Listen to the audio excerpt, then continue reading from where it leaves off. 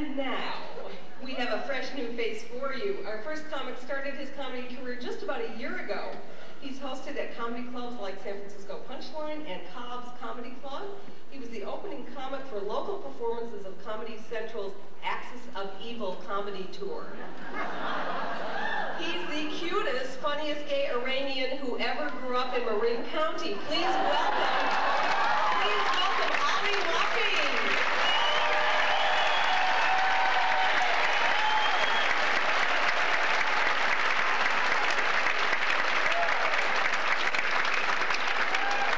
Hello! Oh my god, I'm so excited. Are you guys excited to be here tonight? I am so excited. Give it up for Rob, Robin and Ellen, please.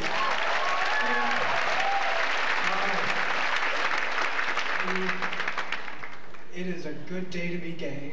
It is. It, I was so, I was so gay today. I was. I, I went up to straight people. I was like, "Oh, are you straight? Sorry." and that's how I, I frolicked like that. Just. Oh, I, it is a good day to be gay. It is here. Oh, I'm. Look at me. Look, look at this shirt. Is this not the most glitter fucking fabulous shirt you've ever seen? Seriously. This shirt is so. This shirt is so gay. It's Republican. Look at it. It's really-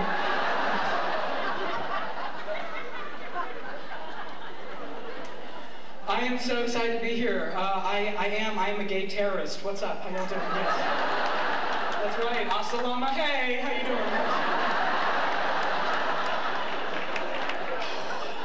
I'm a little nervous tonight. I'm not gonna lie. Not because it's like a million of you, but um, my mom's in the front row.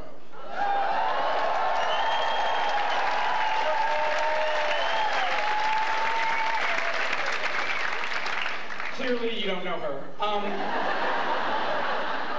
because she's sitting amongst a pool of lesbians, and my mom is hot and easily persuaded. I'm.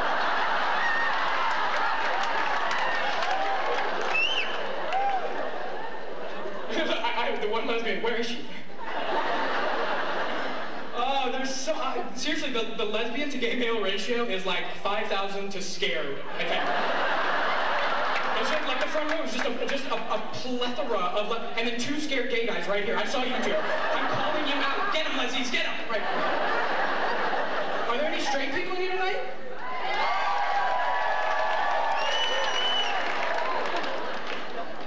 Welcome to the meeting. Um,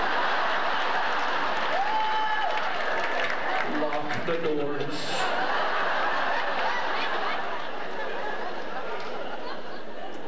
I, uh, I am. I'm, I'm originally from Iran. Any Iranians in here? Really?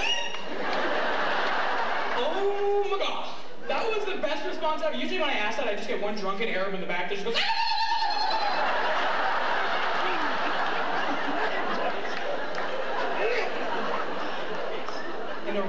Grows in Santa Rosa. Did anybody hear me on the radio yesterday? Any of you? I was on, did you hear me? Wait, I have to tell the story. I promise you I'll get back to comedy, but I thought this was so funny. I was on KZ something, whatever. And some some show. Anyway, uh, but I was supposed to be on, let me tell you how unfamous I am. I was supposed to be on at 8.05, right? And I get a call at 8 a.m. and they go, Ollie, uh, a drop-in guest, very special, showed up. We need to move you back to 8.45. And I was like, all right, whatever. Um, you know, that's happened to me. That's not a big deal. So I listen in to find out who the special drop-in guest is. It's the kid from the Mary's Pizza Shack commercials.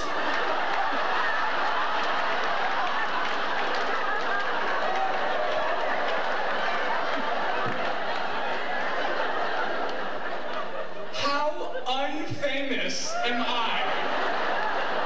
But I loved him because I, I, he's like 12 or whatever, and I don't want to call a 12-year-old gay. However, um, he was talking about his salary because the guy asked him his salary, and he said, "Well, I asked for $200 and they wouldn't give it to me." And he goes, "Oh, well, what did you take instead?" He goes, "Well, I asked for $100 and some new sneakers." And I thought, really, that's a gay thing, you know? Can I get $100 and a cute pair of shoes? Snap, right? Like, I love that there's a fabulous interpreter. Please give it up for him. I- This is, this, is so much funnier than I will ever be. Show him what Iran in, uh, in sign language is.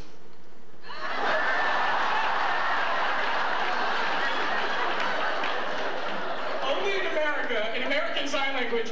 Uh, tell him what Iran is.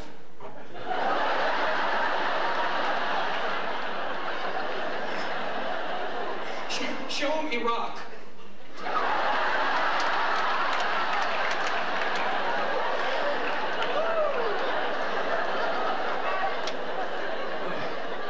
So bad for you because I'm, I'm, I'm seriously, I'm just about to get into the anal sex jokes. And it's gonna be so awkward for you, it really. I might just do the jokes this way because I want to see what you're gonna do. I really.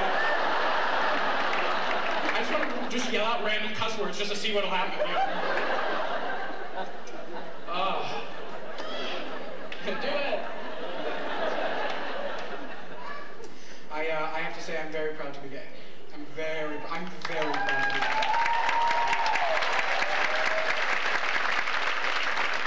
I'm really excited about the gay marriages. I it's Tuesday, right? Tuesday we get married, right? I believe that's the day.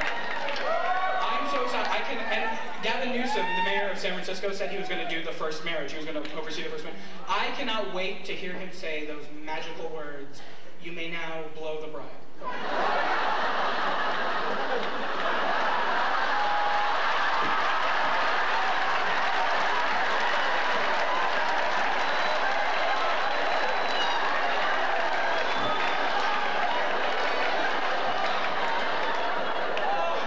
Oh, I love him. Oh.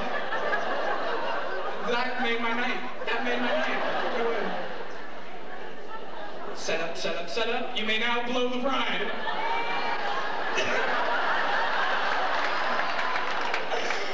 love it. I love it. I love it. Oh, I'm excited for gay marriage. I'm a little concerned that gay divorce is not going to be a big thing. You know, like, I think we should turn it into a reality show. Wouldn't that be great?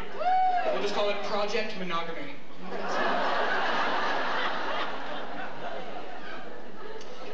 Like I said, I am Iranian. Has anyone seen me before? I'm kind of famous. No way. Don't lie. None of you see me. Don't lie. Don't, don't lie. I appreciate. No, the reason I ask is because up until about a year ago, true story, I was close to 300 pounds.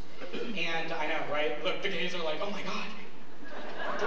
I'm 180 pounds now. Um,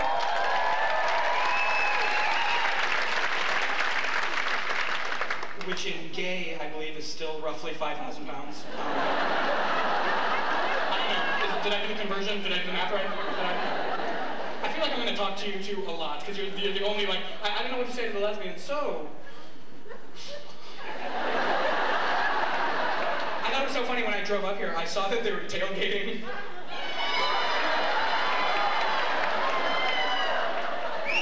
That's right. I think they thought it was a football game. I'm not gonna lie. they come to a football game and they get glitter fabulous me. You may now blow the bride. for no reason. For no reason. I used to be 300 pounds. I lost all the weight doing an all liquid diet for almost a year. I had no solids.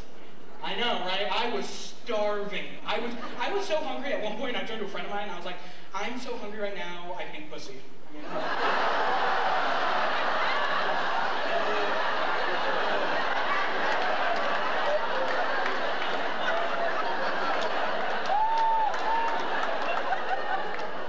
but I mean, if it was cooked right. I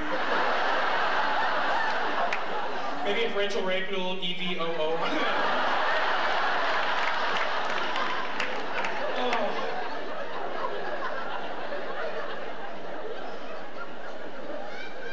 When I had lost 50 pounds, I thought that was a big deal. 50 pounds is a lot of weight, but I guess to some people it's not. I went to my family doctor and she goes, Oh, Holly, you've lost a lot of weight. I was like, Yeah, you know, I've been on this diet. She goes, Well, according to the body mass index, you've upgraded. You're no longer severely obese. And I said, That's great. What am I now? She goes, You're in the next category down morbidly obese. Oh, that's not an upgrade. Morbid? Doesn't that sound bigger? Morbidly obese. Like, what's next? Atrociously obese? And what's the goal? If I work real hard, one day I can just be fat as shit? Like.